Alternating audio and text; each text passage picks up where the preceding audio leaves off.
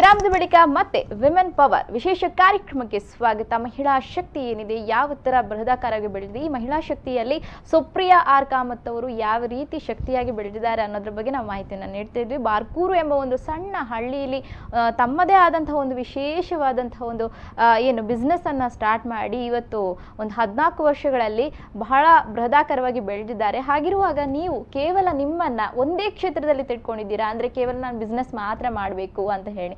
ಅಥವಾ ಸಾಮಾಜಿಕವಾಗಿ ಕೂಡ ನನ್ನನ್ನು ನಾನು ತೊಡಗಿಸಿಕೊಳ್ಬೇಕು ಅನ್ನೋ ವಿಚಾರಕ್ಕೆ ಯಾವ ರೀತಿ ನಿಮ್ಮನ್ನ ನೀವು ಸೇವೆಯನ್ನು ತೊಡಗಿಸಿದ್ದೀರಾ ಅಂತ ಹೇಳ್ತೀರಾ? ಹಾ ಅದು ನಾ ಬ್ಯಾಂಗ್ಳೂರಲ್ಲಿ ಇರ್ಬೇಕಾದ್ರೆ ತುಂಬ ಆಕ್ಟಿವ್ ಅದೇ. ದೊಡ್ಡ ಫ್ರೆಂಡ್ ಸರ್ಕಲ್ ಇತ್ತು ಎಲ್ಲ ಇತ್ತು.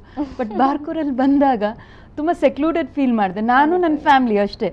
ಸೊ ನನಗೆ ಅದು ಸೋಷಲೈಸ್ ಆಗಬೇಕು ಅಂತ ತುಂಬ ಇಷ್ಟ ಇತ್ತು. ಹಾಗೆ ಆಗ ನಮ್ಮ ಒಂದು ರಿಲೇಟಿವ್ ಶ್ರುತಿ ಶಣೆ ಅಂತ ಹೇಳಿಬಿಟ್ಟು ಅವ್ರ ಪವರಲ್ಲಿ ಆಲ್ರೆಡಿ ಇದ್ದರು ಪವರ್ ಅಂದರೆ it's a platform of woman entrepreneurs ಅದು ಆರ್ಗನೈಸೇಷನ್ ಅದರಲ್ಲಿ ಅರೌಂಡ್ ಏಯ್ಟಿ ಏಯ್ಟ್ ಮಹಿಳೆ ಉದ್ಯಮಿ ಅವರು ಇದ್ದಾರೆ. ಸೊ ಅವರು ಆಗ ಹೇಳಿದಾಗ ನನಗೆ ಖುಷಿ ಆಯಿತು. ಅದು ಅಂದರೆ ನನಗೆ ಟೈಮ್ ವೇಸ್ಟ್ ಮಾಡೋದು ಇಷ್ಟ ಇರಲಿಲ್ಲ. ಕಿಟಿ ಪಾರ್ಟೀಸ್ ಆ ಥರ ಸೋಷಲೈಸ್ ಮಾಡೋಕ್ಕೆ ಇಷ್ಟ ಇರಲಿಲ್ಲ. ಸೊ ಇಂಥ ಒಂದು ಸಂಸ್ಥೆ ಇದೆ ಅಂತ ಗೊತ್ತಾದಾಗ ಅದರಲ್ಲಿ ನಂದು ಇನ್ನೂ ಪೊಟೆನ್ಷಿಯಲ್ ತೋರಿಸ್ಬೋದು ಅಂತ ಹೇಳಿಬಿಟ್ಟು ಓಕೆ ಸೋಷಲೈಸ್ ಆಗ್ಬೋದು ಅಂತ ಹೇಳಿಬಿಟ್ಟು ನಾ ಈ ಸಂಸ್ಥೆ ಜಾಯಿನ್ ಮಾಡಿದೆ. ಖಂಡಿತವಾಗ್ಲು ಒಬ್ಬಳು ಒಂದು ಹೆಣ್ಣು ಕೇವಲ ಅಂದ್ರೆ ಅವಳ ಬುದ್ಧಿಶಕ್ತಿ ಮಾತ್ರ ಅಲ್ಲ ಈಗಿನ ಕಾಲದಲ್ಲಿ ಫೈನಾನ್ಷಿಯಲಿ ಕೂಡ ತುಂಬಾ ಒಂದು ಪವರ್ ಬೇಕಾಗಿರುತ್ತೆ. ಸೊ ಅಂಥದ್ರಲ್ಲಿ ಕೂಡ ನಿಮ್ಗೆ ತುಂಬಾ ಅಂದ್ರೆ ಪವರ್ ಆರ್ಗನೈಸೇಷನ್ ತುಂಬಾ ಹೆಲ್ಪ್ಫುಲ್ ಆಗಿದೆ ಅಂತ ಹೇಳಿ. ಎಷ್ಟು ಮಂದಿ ಮೆಂಬರ್ಸ್ ಇದ್ದಾರೆ ಮೇಡಮ್ ಇದರಲ್ಲಿ? ನಮ್ಮ ಆರ್ಗನೈಸೇಷನಲ್ಲಿ ಏಯ್ಟಿ ಏಯ್ಟ್ ಮೆಂಬರ್ಸ್ ಇದ್ದಾರೆ. ಓಕೆ ಈಗ ಇನ್ ಸ್ವಲ್ಪ ಟೈಮಲ್ಲಿ ಹಂಡ್ರೆಡ್ ಮಾಡ್ ಮಾಡಬೇಕು ಅಂತ ನಾವು ಟಾರ್ಗೆಟ್ ಇಟ್ಕೊಂಡಿದ್ದೀವಿ. ಓಕೆ ಅಂದ್ರೆ. ನಿಮ್ದೆ ಅಂತ ಹೇಳಿ ಒಂದು ಶಕ್ತಿ ಅಂದ್ರೆ ಒಂದು ಸಂಘಟನೆ ಮಾಡ್ಕೊಂಡು.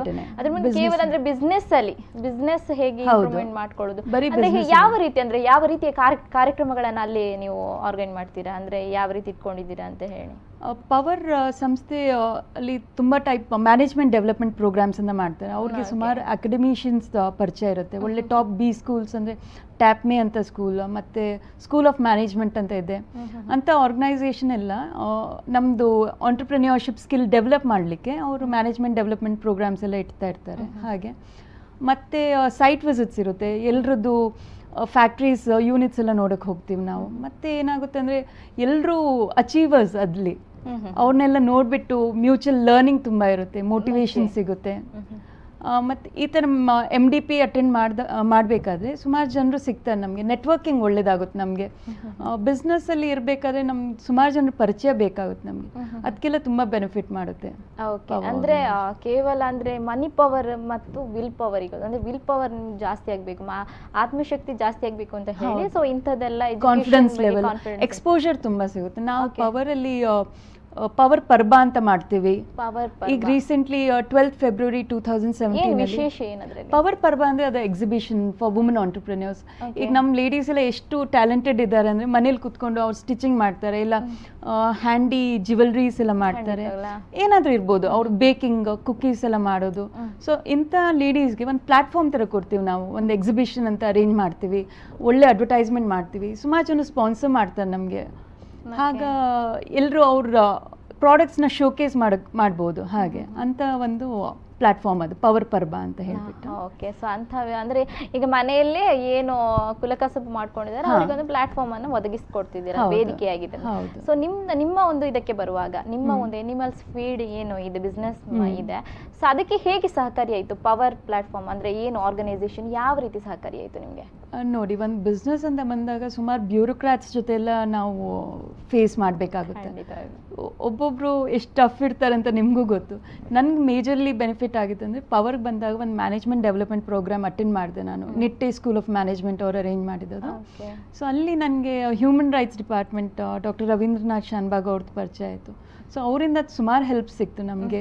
ನಮ್ದು ಅದು ಬ್ಯೂರೋಕ್ರಾಟಿಕ್ ಪ್ರಾಬ್ಲಮ್ಸ್ ಎಲ್ಲ ಫೇಸ್ ಮಾಡಲಿಕ್ಕೆ. ಆ ಥರ. ಮತ್ತು F K C C I ಅವರು ಅಲ್ಲಿ ಅಲ್ಲಿ ಸಿಕ್ಕಿದ್ರು. ಸೊ ನಮಗೆ ಹೊಸ ಪ್ರಾಜೆಕ್ಟ್ ಮಾಡಬೇಕಾದ್ರೆ ಹೊಸ ಲೋನ್ಸ್ ಎಲ್ಲ ಇರುತ್ತೆ. ಲೋನ್ ಸ್ಕೀಮ್ಸ್ ಇರುತ್ತೆ. ವುಮನ್ ಆಂಟರ್ಪ್ರಿನರ್ಸ್ ಸ್ಪೆಷಲ್ ಸ್ಕೀಮ್ ಇರುತ್ತೆ. ರೂರಲ್ ಏರಿಯಾಗೆ ಒಳ್ಳೆ ಸ್ಕೀಮ್ಸ್ ಇರುತ್ತೆ.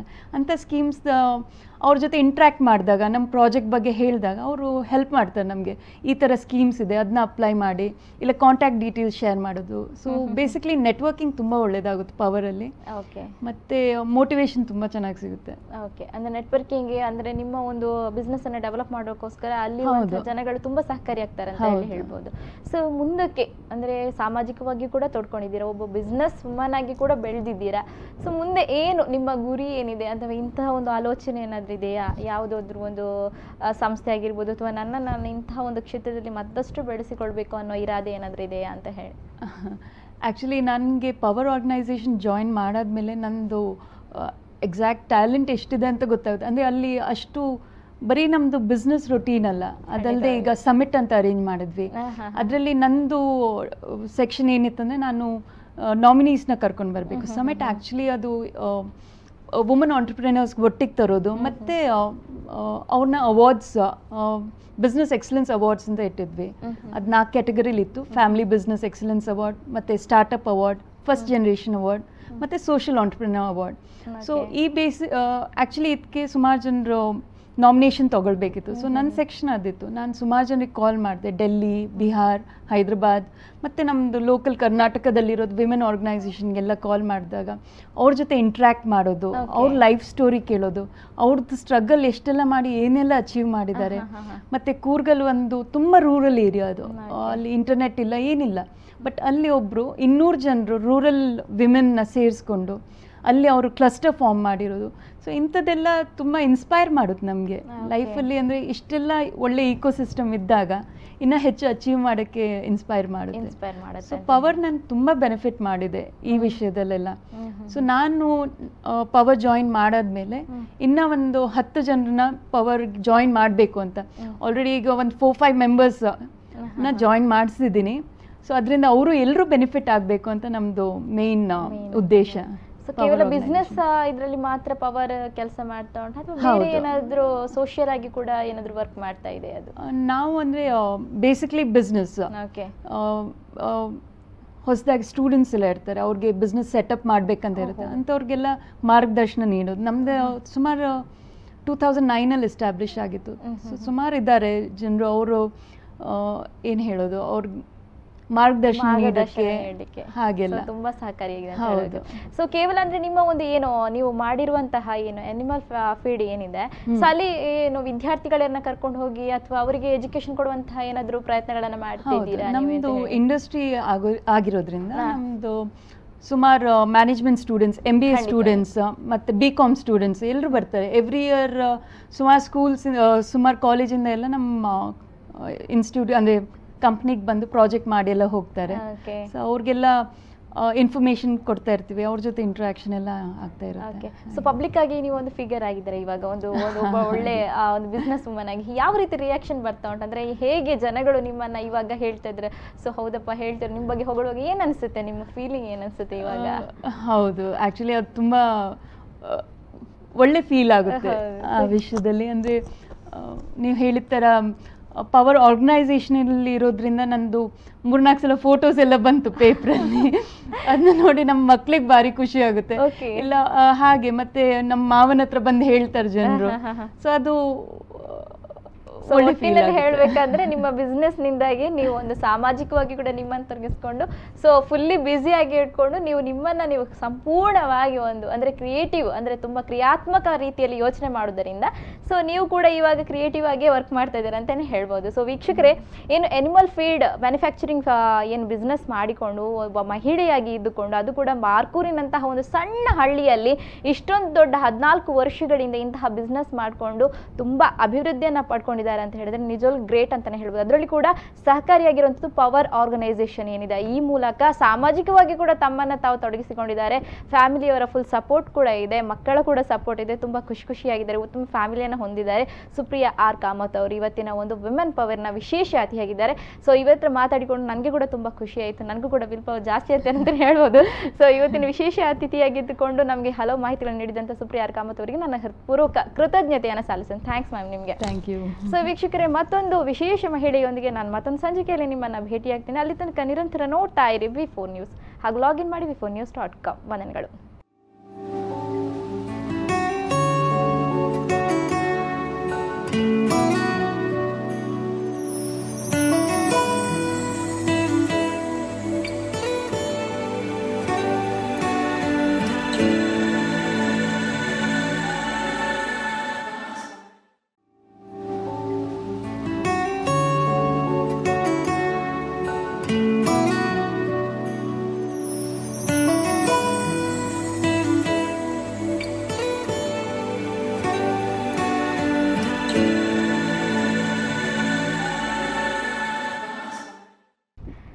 ನಮಸ್ಕಾರ ವೀಕ್ಷಕರೇ. ವಿಮೆನ್ ಪವರ್ ವಿಶೇಷ ಕಾರ್ಯಕ್ರಮಕ್ಕೆ ಸ್ವಾಗತ. ನಾನು ಬಬಿತಾ ಲತೇಶ್.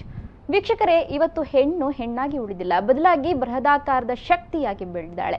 ಅಂತಹ ಶಕ್ತಿ ಎಂತಹ ಒಂದು ಪವರನ್ನು ಹೊಂದಿದೆ ಅಂದರೆ ಇವತ್ತು ಅಡುಗೆ ಮನೆಯಿಂದ ಹಿಡಿದು ಆಕಾಶಕ್ಕೆ ಹಾರಿಬಿಟ್ಟಿದ್ದಾಳೆ. ಹೌದು ಚಂದ್ರನನ್ನೇ ಮುಟ್ಟಿದಂತಹ ಶಕ್ತಿ ಇವತ್ತು ಹೆಣ್ಣಿನಲ್ಲಿದೆ. ಅಂತಹ ಶಕ್ತಿ ಇರುವಂತಹ ಹೆಣ್ಣು ಇವತ್ತು ಕೇವಲ ಒಂದೇ ಕ್ಷೇತ್ರದಲ್ಲಿ ಉಳ್- ಉಳಿದಿಲ್ಲ. ನಾನಾ ವಿಭಾಗಗಳಲ್ಲಿ ವಿಜ್ಞಾನ ಆಗಿರ್ಬೋದು ಶೈಕ್ಷಣಿಕವಾಗಿರ್ಬೋದು ಅಥವಾ ಇನ್ನಿತರ ಹಲವು ರಾಜಕೀಯವಾಗಿ ಕೂಡ ಮುಂದುವರಿದಂತಹ ಹೆಣ್ಣು ಇವತ್ತು ಎಲ್ಲ ರೀತಿಯಲ್ಲೂ ಕೂಡ ಎಲ್ಲ ಶಕ್ತಿಗಳಲ್ಲೂ ಕೂಡ ತನ್ನನ್ನು ಸಮರ್ಥನೆ ಮಾಡುವಂತಹ ಒಂದು ಆ, ವಿಶೇಷವಾದಂತಹ ಶಕ್ತಿಯನ್ನ ಹೊಂದಾಳೆ ಅಂತಹ ಶಕ್ತಿ ಸ್ವರೂಪಿನಿಯಾದಂಥ ಹೆಣ್ಣನ್ನ ಪರಿಚಯಿಸುವಂಥ ವಿಶೇಷ ಕಾರ್ಯಕ್ರಮ ವಿಮೆನ್ ಪವರ್ ಅಂತಲೇ ಹೇಳ್ಬೋದು. ಹಾಗಾದ್ರೆ ಇವತ್ತಿನ ವಿಮೆನ್ ಪವರ್ ಅಲ್ಲಿ ನಮಗೆ ನಮ್ಮ ಜೊತೆ ಇರುವಂತಹ ವಿಶೇಷ ಅತಿಥಿ ಯಾರು ಅಂತ ಹೇಳಿ ಕೇಳಿದರೆ ಉಡುಪಿ ಬಾರ್ಕೂರು ಪರಿಸರದಲ್ಲಿ ಮದುವೆಯಾಗಿ ಬಂದಂತಹ ಶ್ರೀಮತಿ ಸುಪ್ರಿಯಾ ಆರ್ ಕಾಮತ್ ಅವರು ಇವತ್ತು ನಮ್ಮ ಜೊತೆ ಇದ್ದಾರೆ. ಅವರನ್ನ ಕಾರ್ಯಕ್ರಮಕ್ಕೆ ನಾನು ಆತ್ಮೀಯವಾಗಿ ಸ್ವಾಗತಿಸ್ತಿದ್ದೇನೆ. ನಮಸ್ತೆ ಮೇಡಮ್ ನಿಮಗೆ. ನಮಸ್ತೆ. ಓಕೆ. ವೀಕ್ಷಕರೇ ಪರ್ಟಿಕ್ಯುಲರ್ ಅಂದ್ರೆ ಅವರನ್ನ ತೊಡಗಿಸಿಕೊಂಡಂತಹ ಕ್ಷೇತ್ರ ಅಂತ ಹೇಳಿದ್ರೆ ಒಂದು ತುಂಬಾನೇ ಆಸಕ್ತಿಕರ ಅಂತ ಹೇಳ್ಬೋದು. ಯಾಕೆಂದ್ರೆ ಹೆಚ್ಚಾಗಿ ಈ ಕ್ಷೇತ್ರಕ್ಕೆ ಬರುವುದು ಪುರುಷರು. ಆದ್ರೆ ಮಹಿಳೆಯಾಗಿ ಇವತ್ತು ತನ್ನನ್ನು ತಾನು ಒಂದು ತೊಡಗಿಸಿಕೊಂಡಿದ್ದಾರೆ ಅಂದ್ರೆ ತುಂಬಾ ಉತ್ತಮವಾದ ಕ್ಷೇತ್ರ ಅಂತಾನೆ ಹೇಳ್ಬೋದು. ಹೌದು. ಪ್ರಾಣಿಗಳಿಗೆ ಏನು ಆಹಾರವನ್ನ ಒದಗಿಸ್ತಾರ, ಅದನ್ನ ಮ್ಯಾನುಫ್ಯಾಕ್ಚರಿಂಗ್ ಅಂದ್ರೆ ಉತ್ಪಾದಿಸುವಂತಹ ಕ್ಷೇತ್ರದಲ್ಲಿ ತಮ್ಮನ್ನು ತಾವು ತೊಡಗಿಸಿಕೊಂಡಿದ್ದಾರೆ. ಬಾರ್ಕೂರು ಪರಿಸರದಲ್ಲಿ ಇಂತಹ ಒಂದು ವಿಶೇಷವಾದ ಘಟಕವನ್ನು ಪಡೆದುಕೊಂಡಂತಹ ಶ್ರೀಮತಿ ಸುಪ್ರಿಯಾ ಆರ್ ಕಾಮತ್ ಅವರು ಇವತ್ತು ನಮ್ಮ ಜೊತೆ ಇದ್ದಾರೆ. ಸೊ ಬನ್ನಿ, ಅವರ ಹತ್ರ ತುಂಬಾನೇ ಮಾತಾಡೋಕ್ಕಿದೆ ಹೇಗೆ ಅವರಿಗೆ ಈ ಬಗ್ಗೆ ಆಸಕ್ತಿ ಬಂತು ಹಾಗೂ ಹೇಗೆ ಈ ಒಂದು ಬಿಸ್ನೆಸ್ ಅನ್ನ ಮುಂದುವರಿಸಿದ್ರು ಅನ್ನೋದ್ರ ಬಗ್ಗೆ ಅವರ ಜೊತೆ ಮಾತಾಡೋಣ. ಸುಪ್ರಿಯಾ ಆರ್ ಕಾಮತ್ ಮೊದಲಿಗೆ ಪ್ರಥಮವಾಗಿ ನಾನು ನಿಮ್ಮನ್ನ ಕಾರ್ಯಕ್ರಮಕ್ಕೆ ಮತ್ತೆ ಸ್ವಾಗತಿಸ್ತಿದ್ದೇನೆ. ಸೊ ಸುಪ್ರಿಯಾ ಆರ್ ಕಾಮತ್ ಅಂತ ಹೇಳುವಾಗ ನೀವು ಹೇಗೆ, ಅಂದ್ರೆ ಇದ್ರ ಬಗ್ಗೆ ನಿಮ್ಗೆ ಹೇಗೆ ಒಲವು ಹೆಚ್ಚಿತು? ಅದಕ್ಕಿಂತ ಮೊದಲು ನೀವು ಎಲ್ಲಿದ್ರಿ? ಅಂದ್ರೆ ನಿಮ್ಮ ನೇಟಿವ್ ಪ್ಲೇಸ್ ಅಂದ್ರೆ ನೀವು ಹುಟ್ಟಿ ಬೆಳೆದಂತಹ ಸ್ಥಳ ಆಗಿರ್ಬೋದು ಅಥವಾ ಇದು ಮದುವೆಯಾಗಿ ಬಂದಂತಹ ಸ್ಥಳ, ತದ ಬಳಿಕ ನಿಮ್ಗೆ ಹೇಗೆ ಆಸಕ್ತಿ ಬೆಳೆದು ಇದ್ರ ಬಗ್ಗೆ ತಿಳಿಸ್ಕೊಡ್ತೀರಾ?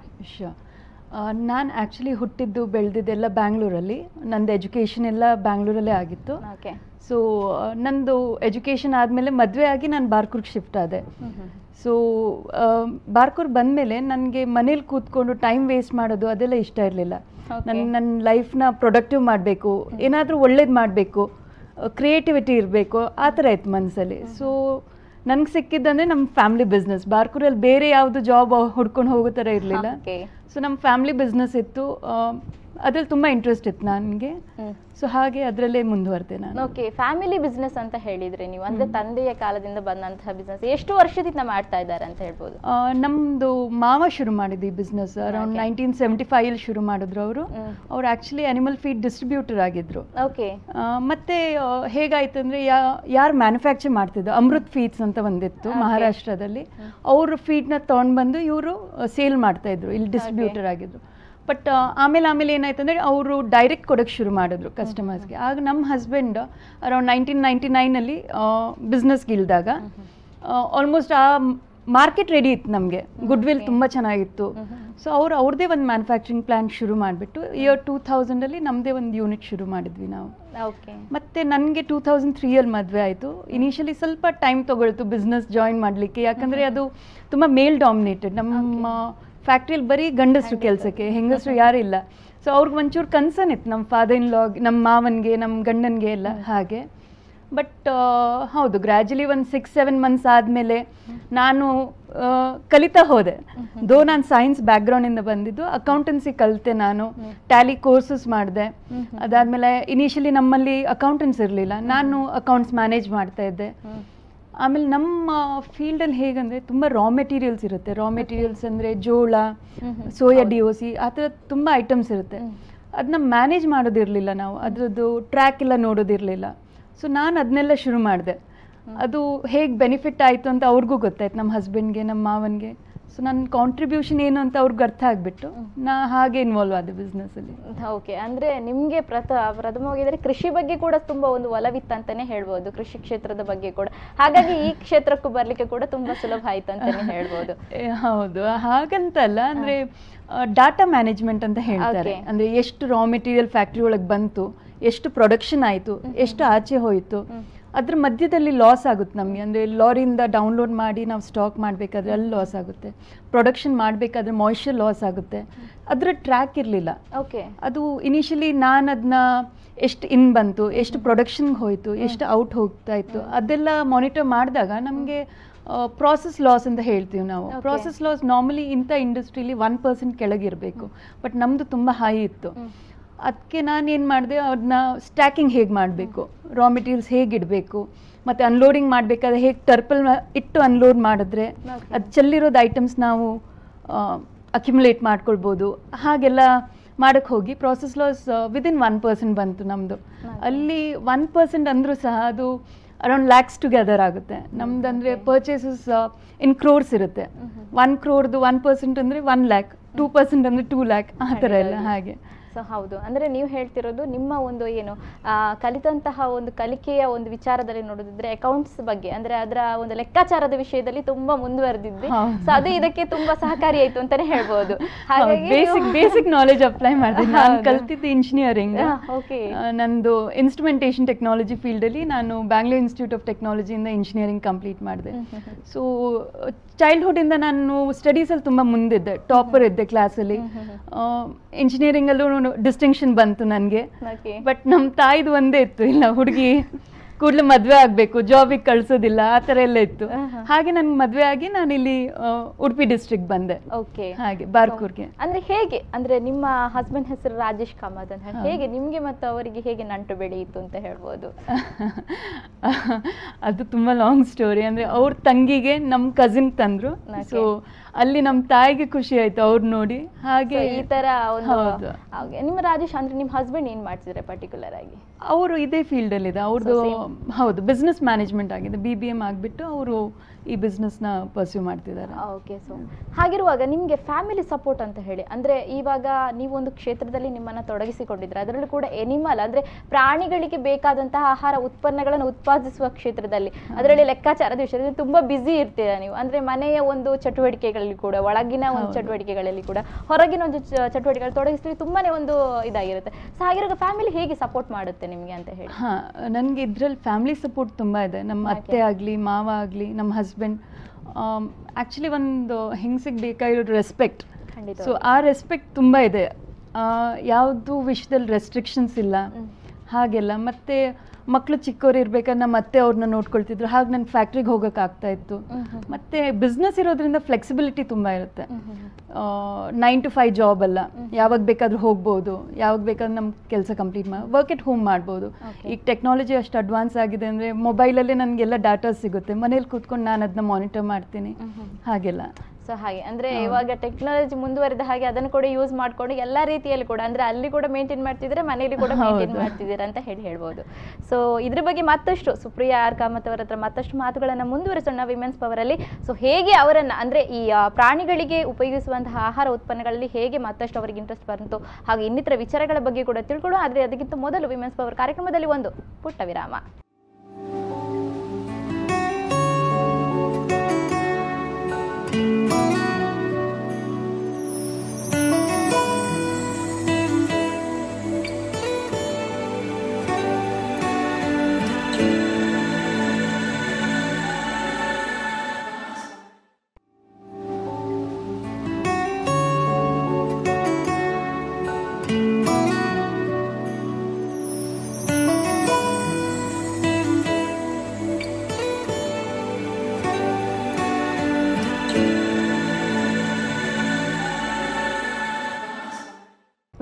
ಬಳಿಕ ಮತ್ತೆ ವುಮೆನ್ ಪವರ್ ವಿಶೇಷ ಕಾರ್ಯಕ್ರಮಕ್ಕೆ ಸ್ವಾಗತ. ನಮ್ಮ ಜೊತೆ ವಿಶೇಷ ಅತಿಥಿಯಾಗಿದ್ದಾರೆ ಸುಪ್ರಿಯಾ ಆರ್ ಕಾಮತ್ ಅವರು ಬಾರ್ಕೂರ್ನಿಂದ ಬಂದಿದ್ದಾರೆ. ಮೂಲತಃ ಬೆಂಗಳೂರಿನಿಂದ ಬಂದಿದ್ರು ಕೂಡ ಅಲ್ಲಿ ಹುಟ್ಟಿ, ಬೆಳೆದು, ಆಡಿ, ನಲಿದಂತಹ ಶಿಕ್ಷಣ ಎಲ್ಲ ಪಡ್ಕೊಂಡಿದ್ದಾರೆ. ಆದರೆ ಮದುವೆಯಾದ ಬಳಿಕ ಬಾರ್ಕೂರಿಗೆ ಬಂದ ನಂತರ ತನ್ನನ್ನೇ ತಾನು ಒಂದು ವಿಶೇಷವಾಗಿ ಅಂದರೆ ಪ್ರಾಣಿಗಳ ಒಂದು ಏನು ಆಹಾರ ಉತ್ಪನ್ನಗಳ ಕ್ಷೇತ್ರದಲ್ಲಿ ತನ್ನನ್ನು ತಾನು ತೊಡಗಿಸಿಕೊಂಡು ಉತ್ತರೋತ್ತರ ಅಭಿವೃದ್ಧಿಯನ್ನ ಪಡ್ಕೊಂಡಿದ್ದಾರೆ. ಹೇಗೆ ಅವರು ಈ ಕ್ಷೇತ್ರದಲ್ಲಿ ಅಭಿವೃದ್ಧಿಯನ್ನ ಪಡ್ಕೊಂಡಿದ್ದಾರೆ ಅನ್ನೋ ಬಗ್ಗೆ ನಾವು ಮಾತಾಡ್ತಿದ್ದೆ ಮತ್ತಷ್ಟು ಮಾತುಗಳನ್ನ ಅವರ ಜೊತೆ ಮುಂದುವರಿಸುವ ಸುಪ್ರಿಯಾ ಆರ್ ಕಾಮತ್ ಅವರೇ. ಸೊ ನೀವಾಗಲೇ ಹೇಳಿದ್ರಿ ನಮ್ಮ ಈ ಒಂದು ಏನು ಕಂಪನಿಯಲ್ಲಿ ಹೆಚ್ಚಾಗಿರೋದಂದ್ರೆ ಗಂಡಸರೇ. ಹೌದು ಖಂಡಿತವಾಗ್ಲೂ. ಈಗಿನ ಒಂದು ಇದರಲ್ಲಿ ಏನಂದ್ರೆ ಸರಿ ಸಮಾನಾಗಿ ಹೆಣ್ಣುಗಳು ಇದ್ದಾರೆ ಗಂಡಸಿಗೆ ಒಂದು ಸಮಾನಾಗಿ ಬೆಳ್ಕೊಂಡು ಬಂದಿದ್ದಾರೆ. ಹಾಗಾದ್ರೆ ಈ ಕ್ಷೇತ್ರದಲ್ಲಿ ಕೂಡ ಅಂದ್ರೆ ನೀವೊಂದು ಹೆಣ್ಣಾಗಿ ಹೆಡ್ ಪೊಸಿಷನ್ ಅಲ್ಲಿ ಇದ್ದುಕೊಂಡು ಸೊ ಅಲ್ಲಿ ಒಂದು ಗಂಡಸರ ಜೊತೆ ವರ್ಕ್ ಮಾಡ್ತಿರೋರಿಗೆ ಹೇಗೆ ಫೀಲ್ ಆಗುತ್ತೆ? ಅಂದ್ರೆ ಯಾವ ರೀತಿ ಅಲ್ಲಿ ವರ್ಕ್ ನಡೀತಾ ಇದೆ ಅಂತ ಹೇಳಿ ಕೆಲಸ ಕಾರ್ಯ. ಹಾ ನಮ್ದು ಎಂಪ್ಲಾಯೀಸ್ಗೆ ಅಂದ್ರೆ ನಮ್ಮ ಮೇಲೆ ತುಂಬಾ ರೆಸ್ಪೆಕ್ಟ್ ಇದೆ. ಅದು ನಮ್ಮ ಫಾದರ್ ಲೋ ನಮ್ಮ ಮಾವನ ಕಾಲದಿಂದ ಬಂದಿದೆ. ನಮ್ಮ ಕಂಪ್ನಿದು ಒಂದು ಉದ್ದೇಶ ಏನಂದ್ರೆ. ನಮ್ಮ ಎಂಪ್ಲಾಯೀಸ್ಗೆ ರೈಟ್ಲಿ ಅವ್ರು ಏನು ಡಿಸರ್ವ್ ಮಾಡ್ತಾರೋ ಅದನ್ನ ನಾವು ಕೊಡಬೇಕು ಅಂತ ಹೇಳ್ಬಿಟ್ಟು. ಸೊ ಅವ್ರು ರೈಟ್ಲಿ ಏನು ಡಿಸರ್ವ್ ಮಾಡ್ತಾರೆ ಅದನ್ನ ಅವ್ರ ಕ್ಯಾಂಟೀನ್ ಫೆಸಿಲಿಟೀಸ್ ಅವ್ರದ್ದು E P F E S I cards ಎಲ್ಲ ನಾವು ಮಾಡ್ಕೊಂಡಿದ್ದೀವಿ ಸೊ ಅವ್ರಿಗೆ ನಮ್ಮ ಮೇಲೆ ತುಂಬ ರೆಸ್ಪೆಕ್ಟ್ ಇದೆ. ಹಾಗೆ ಅದರಿಂದ ಅವರು ನಮ್ಮ ಫಾದರ್ಲೋ ನಮ್ಮ ಮಾವ ನಮ್ಮ ಗಂಡ, ಅವರೆಲ್ಲ ನನ್ನ ಹೇಗೆ ಟ್ರೀಟ್ ಮಾಡ್ತಾ ಅಂತ ಗೊತ್ತು ಅವ್ರಿಗೆ. ಸೊ ಆ ಬೇಸಿಸ್ ಮೇಲೆ ಅವ್ರಿಗೆ ಆಟೋಮ್ಯಾಟಿಕ್ ಆಗಿ ನಾನೇನು ಡಾಮಿನೇಷನ್ ಏನು ತೋರಿಸ್ಬೇಕಂತ ಇರಲಿಲ್ಲ. ಸೊ ಆ ರೆಸ್ಪೆಕ್ಟ್ ನನಗೆ ಅಲ್ಲಿ ಸಿಕ್ತು. ಓಕೆ ಎಷ್ಟು ವರ್ಷದಿಂದ ಇದನ್ನು ನಡೆಸ್ಕೊಂಡು ಬರ್ತಾ ಇದ್ದೀರಾ ನೀವು? ನಾನು ಎರಡು ಸಾವಿರದ ಮೂರದಲ್ಲಿ ಮೂರಲ್ಲಿ ಬಿಸ್ನೆಸ್ ಜಾಯಿನ್ ಮಾಡಿದೆ. ಸೊ ಎರಡು ಸಾವಿರದ ಮೂರಿಂದ ಎರಡು ಸಾವಿರದ ಹದಿನೇಳವರೆಗೂ ಈಗ ಫೋರ್ಟೀನ್ ಇಯರ್ಸ್ ಆಯಿತು ನಾನು ಈ. ಬಿಸ್ನೆಸ್ಸಲ್ಲಿ ಹದಿನಾಲ್ಕು ವರ್ಷಗಳಿಂದ ಒಂದು ಈ ಒಂದು ಕ್ಷೇತ್ರದಲ್ಲಿ ತಮ್ಮನ್ನು ತಾವು ತೊಡಗಿಸಿಕೊಂಡಿದ್ದೀರಾ ಅಂತ ಹೇಳಿ. ಸೊ ಮತ್ತೊಂದು ವಿಷಯ ಹೇಳಬೇಕಾದ್ರೆ ಇವಾಗ ಹೆಚ್ಚಾಗಿ ನಾವು ನಾವು ಎಷ್ಟೇ ಹುಡುಗಿಯರು ಅಥವಾ ಹೆಣ್ಮಕ್ಕಳು ಎಜುಕೇಟೆಡ್ ಆಗಿರಲಿ ಅಥವಾ ಎಷ್ಟೇ ಮಾಡರ್ನ್ ಆದ್ರೂ ಕೂಡ ಒಂದು ಹೊಸತನದಲ್ಲಿ ನಾವು ನಮ್ಮನ್ನು ತೊಡಗಿಸಿಕೊಳ್ಳುವಾಗ ಎಲ್ಲೋ ಒಂದು ನಾವು ಕೇಳುವಂತಹ ಮಾತುಗಳು ಕೇಳಿ ಬರ್ತದೆ. ಅಂದ್ರೆ ಆ, ಹೌದಾ ಹುಡುಗಿ ಅವಳು ಏನ್ ಮಾಡ್ತಾಳೆ ಹಾಗೆ. ಸೊ ಆ ತರದೇನು ನೀವು ಏನು ಕೇಳ್ಕೊಂಡಿದ್ದೀರಾ? ಅಂದ್ರೆ ನಿಮ್ಗೆ ಏನಾದ್ರು ವಿಚಾರಗಳು ಬಂದಿದೆ ಅಂತ ಹೇಳಿ. ಹೌದು. ಇನಿಷಿಯಲಿ ಜನರಿಗೆ ಅರ್ಥ ಆಗಿಲ್ಲ ನಾನು ಫ್ಯಾಕ್ಟ್ರಿಗೆ ಹೋಗೋದು ಏನಕ್ಕೆ ನನ್ನ ಕಾಂಟ್ರಿಬ್ಯೂಷನ್ ಏನು ಅಂತ ಹೇಳಿ ಬಟ್ ಗ್ರ್ಯಾಜುಲಿ ನಾನು ಏನು ಏನೆಲ್ಲ ಮಾಡ್ಬೋದು ಅಂತ ನೋಡಿದಾಗ ನಮ್ದಂದ್ರೆ ಫಾರ್ಮುಲೇಷನ್ ಅಂತ ಇರುತ್ತೆ. ಫಾರ್ಮುಲೇಷನ್ ಅಲ್ಲಿ ಬೇರೆ ಎಲ್ಲ ರಾ ಮೆಟೀರಿಯಲ್ಸ್ ಇರುತ್ತೆ. ಒಂದೊಂದು ರಾ ಮೆಟೀರಿಯಲ್ ಒಂದೊಂದು ನ್ಯೂಟ್ರಿಷನ್ ವ್ಯಾಲ್ಯೂ ಇರುತ್ತೆ. ಈ ಕೋಳಿ ಆಹಾರ ಅಂದ್ರೆ ಒಟ್ಟು ಎಲ್ಲ ರಾ ಮೆಟೀರಿಯಲ್ ತಂದು ಮಿಕ್ಸ್ ಮಾಡಿ ಕೋಳಿ ಕೊಟ್ರೆ ಅದು ಬೆಳವಣಿಗೆ ಎಷ್ಟು ಫಾಸ್ಟ್ ಇರೋದಿಲ್ಲ. ಸೊ ಅದಕ್ಕೆ ಒಂದು ಸಾಫ್ಟ್ವೇರ್ ಇಂಟ್ರೊಡ್ಯೂಸ್ ಮಾಡಿದ್ವಿ ನಾವು. ಆ ಸಾಫ್ಟ್ವೇರಲ್ಲಿ ಫೀಡ್ ಎಲ್ಲ ಫಾರ್ಮುಲೇಟ್ ಮಾಡೋದು. ಸೊ ಆ ಥರ ಆ ಥರದ್ದು ಒಂದೊಂದೇ ಇಂಟ್ರೊಡ್ಯೂಸ್ ಮಾಡ್ತಾ ಮಾಡ್ತಾ. ಸೊ ನನ್ನ ಕಾಂಟ್ರಿಬ್ಯೂಷನ್ ಏನಂತ ಗೊತ್ತಾಯ್ತು ಅವ್ರಿಗೆ? ಓಕೆ ಅದರಿಂದ ಹಂತ ಹಂತವಾಗಿ ನಿಮಗೂ ಕೂಡ ನಿಮ್ಮ ಬೆಳವಣಿಗೆ ಕೂಡ ಸಹಕಾರಿ ಆಯ್ತು ಅಂತ ಹೇಳಿ. ಹೇಳಿದ್ರು. ಸೊ ಮತ್ತೆ ನಿಮ್ಮ ಏನು ಅಗ್ರಿಕಲ್ಚರ್ ಎನಿಮಲ್ ಫೀಡ್ ಅಗ್ರಿಕಲ್ಚರ್ ಏನಿದೆ ಅದಕ್ಕೆ ಬರ್ತಾ ಇದ್ದಾನೆ. ಸೊ ಏನೆಲ್ಲ ಪ್ರಾಡಕ್ಟ್ಸ್ ಇದೆ? ಅಂದ್ರೆ. ಯಾವ ರೀತಿಯಾದಂಥ ಪ್ರಾಡಕ್ಟ್ಸ್ಗಳು ಇವಾಗ ನಿಮ್ಮಲ್ಲಿ ಇವೆ ಅಂತ ಹೇಳ್ತೀರಾ? ನಮ್ಮದು ಆ್ಯಕ್ಚುಲಿ ಎನಿಮಲ್ ಫೀಡ್ಸಲ್ಲಿ ಮೇಜರ್ಲಿ ನಮ್ಮದು ಪೌಲ್ಟ್ರಿ ಸೆಕ್ಷನ್. ಪೌಲ್ಟ್ರಿಯಲ್ಲಿ ಬ್ರಾಯ್ಲರ್ ಫೀಡ್ ಇದೆ.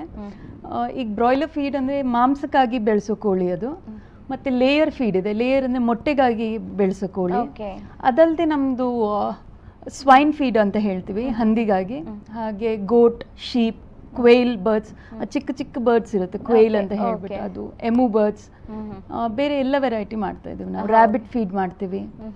ಹಾಗೆ. ಅಂದ್ರೆ ಪಕ್ಷಿಗಳಲ್ಲದೆ ಪ್ರಾಣಿಗಳ ಇದು ಕೂಡ ಫೀಡಿಂಗ್ ಅಂದ್ರೆ ಜನರಲ್.